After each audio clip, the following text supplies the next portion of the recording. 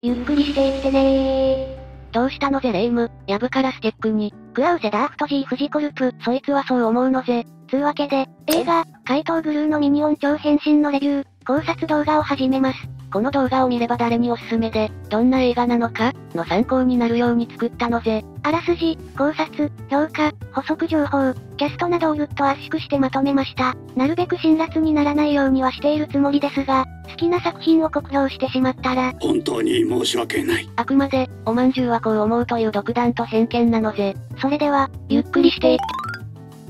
今北産業、怪盗グルーシリーズ映画の第4弾、ピクサーと並んで今最もイケイケな CG スタジオ、イリュージョンが手掛けた大人気、デート、ファミリームービー、シナリオはなんやかんやあって、怪盗を引退して反悪党同盟のエージェントに転身した主人公、スパイ活動としてかつての同級生を逮捕したところ、恨まれてしまい、今作のヴィランであるその同級生とバトルことになる、という感じの映画です。映画は怪盗グルーシリーズなので、ミニオンたちの出番はそこそこで、グルーファミリーがメインで活躍します。誰におすすめなのぜ？かもなく不可もなくな完璧な、デート、ファミリー映画なので、小さい子供を黙らせたい時とか、遠足の時にバスで流す映画として最適、寝る前に流す映画としても、ちょうどいい睡眠導入映画となる。ではでは、ここからこの映画の補足を解説します。この映画は怪盗グルーシリーズであり、登場人物に過去のつながりとかあったりと、シリーズものの宿命なのですが、とにかく過去の登場人物とかが出てくるので面倒くさい。どのハリウッド映画も、過去作をたしなんでいなくても見れるように作ってあるのぜ。ただ、うちらおまんじゅうは、CD を順に聞くタイプのおまんじゅう使いだから、ちゃんと順当に作品をたしなんでいないと、続編とか見る気が起きなくなっちゃうんだよね。でで、なんでこんなにゲームとか、映画って続編出るの？って部分なのですが、これは致し方ないことで、新作映画ヒット率って大体10分の1で、10本出して1本しか当たらないのぜ。その点、続編って、ある程度売り上げ予測が立てれるわけ。だから続編出して運転資金を回収しつつ、新作映画を作って博打を打つってシステムになってるのぜ。これがまあ、続編たくさん出るのは、致し方なしって理由です。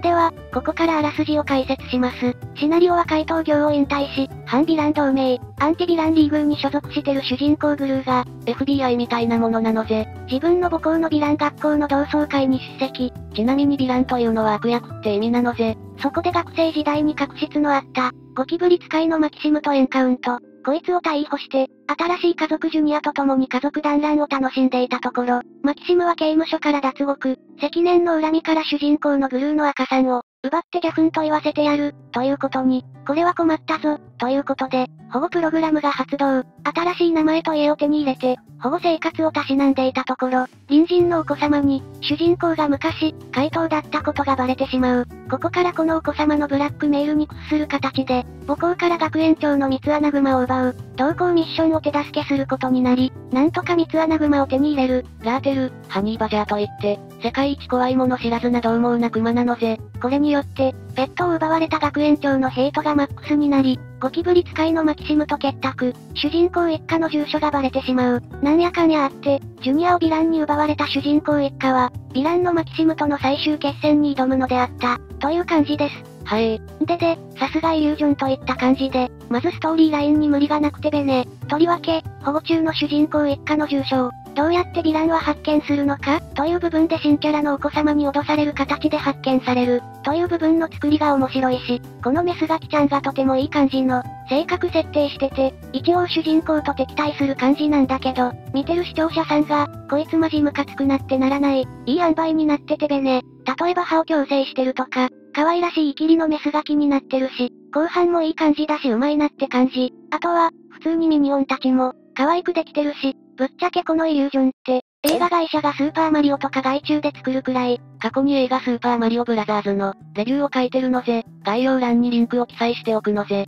超絶優秀な CG アニメ制作会社にまで、上り詰めてるんだけど、それはこの映画でクリーチャー、ミニオンを作ったことに尽きると思います。ミニオンはいわゆる気も可愛い分類の、キャラクターなんだけど、本当にやんちゃな動物とか子供みたいな感じでくっそ可愛いのぜ。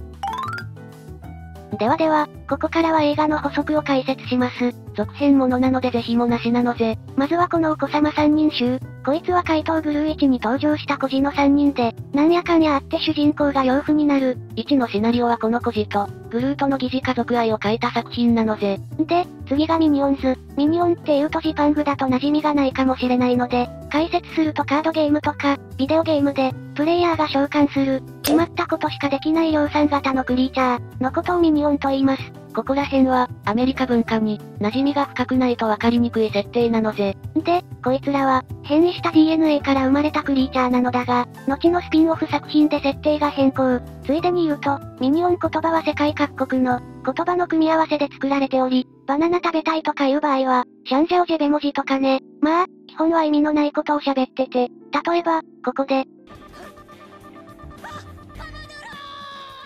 ポモドロー、って言ってるんだけど、これは、イタリア語でトマトって意味で、本当に意味のない言葉を喋ってるよ。ただ、このミニオン型って、おまんじゅう的には大発明で、例えば、ミニオンズでミニオンが、仲間、っていうシーンが出てくるんだけど、人類は自分のとこの言語を喋ってくれると、なぜか親近感が湧くという謎の能力を、共感力を有していて、例えばイタリア人が見てて、ミニオンがトマト、って言ってくれたら、なんかこいつらと仲間になったみたいな親近感が湧くじゃん。そんな感じで、ミニオン語はメジャー言語を、喋る人間たちと友達の輪を作りやすいって特徴を持ってるから、ガチでこのミニオン語システムは語彙数だと思いました。丸。で、次がこの奥さん。こいつはグルーニに出てきた、反ヴィラン連合の女スパイデニで主人公と結婚。で、新キャラがこの赤さんで、この二人の赤さん。で、このヤギワさんで出てくるヤギ。とまあそんな感じ。あと、最後のエンドクレジットで、刑務所に捕まってるヴィランたちなんだけど、スピンオフのミニオンズも含めて、歴代のヴィランたちが出てくるのでガチファンならふってなる部分。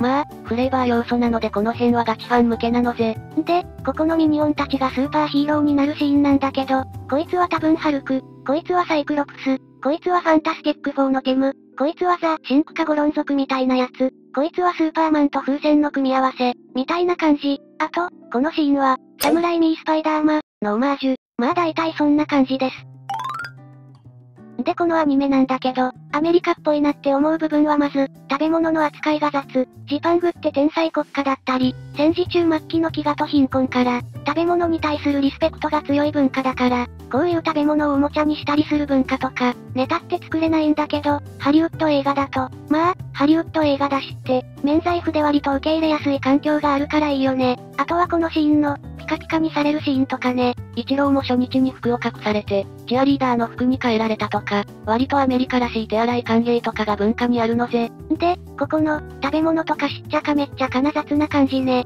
これはもうコーカソイドの文化に根付いたやつで、17世紀にベネツィアにいた貴族の女性が、貴族の食事マナーって本を出版して、文化として根付くまで、コーカソイドの食事マナーってこういうガチで汚い感じだったのぜ。文化として残っているというかそんな感じが出てていいよね。あと普通にキャラクターが、いい感じに美人じゃないところがベネなのと、例えば隣人の奥さんとか、女キャラがみんな特徴的な、こういう人いそうってデフォルメの効いたキャラしててベネ。こういう、モブを、特徴的に描ける技術が進化してて、すげえって思ったのぜ。この映画って徹底してファミリー向けに作られているわけ。で、ヒロインとかが FF 見たく美人だと、それだけで女性のヘイトを買うし子供向けアニメっぽくなくなるわけ。なので、この映画のキャラデザは、なるべくセックスシンボルの要素が出ないように作ってるのぜ。このヴィランの恋人が、まあまあセックスシンボルというか水着怪人枠なんだけど、全然性欲を持て余す、って感じじゃなくてね、いい感じだよね。あ、それとこの手の映画で、知っておくと楽しいよって小ネタがあるんだけど、ヴ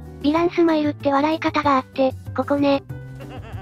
ぬはははは、あとはヴィランスマイル3段活用ってのもあって、ぬはは、ぬははは、ぬははは、ってのがあって、大体この手の映画で、ヴィランはこのヴィランスマイルをするってのがテンプレ化してて、この手のファンからすると、ヴィランがこのヴィランスマイルをしないとケツの座りが悪いというか、役者の方も、ヴィランスマイルしたい。って感じで、ほとんどの役者がこのヴィランスマイルするときは、ぬはははって楽しそうに笑うから、注目しておくといいです。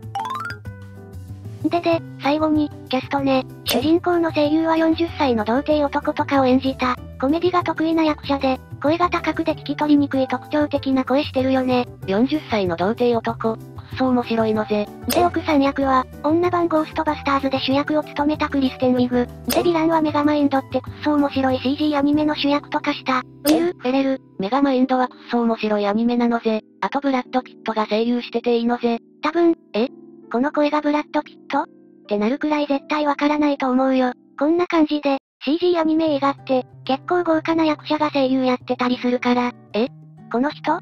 てなったりして面白いです。ではでは、最後におまんじゅう的おすすめ度を紹介。おすすめ度は、星1中星3。普通に面白いし、子供を黙らせたい時におすすめだし、ミニオン可愛いし、寝る前の睡眠導入映画として群抜の出来栄え。ただまあ、ミニオンの映画でどれが一番面白い？って言ったら、多分ミニオンズかな？なんていうか、主人公のグルーよりも、ミニオンの方が花があるしキュートだし面白いです。最後までご視聴ありがとうなのぜ。皆さんはこの映画をどう評価しましたか？皆さんのコメント、感想をお待ちしてます。いいねしてくれたり、ファンになってくれると嬉しいのぜ。それでは、次の動画か夢でお会いしましょう。ラブピー